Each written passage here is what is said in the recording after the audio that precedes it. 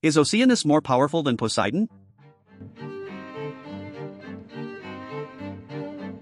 Hydrokinesis, being the father of waters and titan lord of the oceans, Oceanus has absolute control over water, which rivals that of his nephew Poseidon. Hence, Oceanus is the only one who can successfully fight the latter at sea. In Greek mythology, Oceanus is often overshadowed by his more famous nephew, Poseidon, the god of the sea. However, many scholars and enthusiasts of Greek mythology believe that Oceanus may actually be more powerful than Poseidon in terms of his control over water.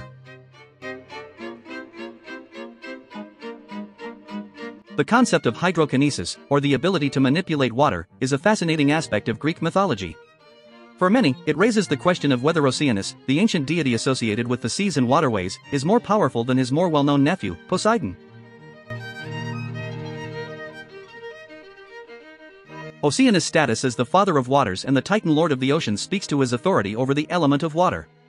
In Greek mythology, the Titans were powerful deities who ruled during the Golden Age, and Oceanus' domain over the seas and waterways is a testament to his immense power.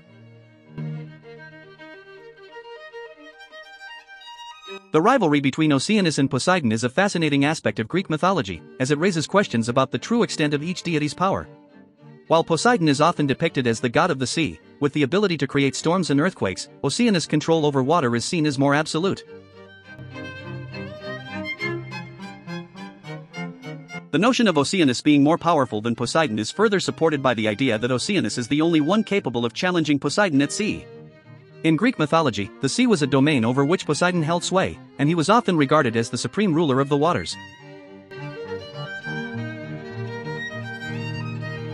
The concept of Oceanus' superiority over Poseidon is a topic of debate among scholars and enthusiasts of Greek mythology. Some argue that Poseidon's control over the sea and his ability to create storms and earthquakes make him the more powerful deity.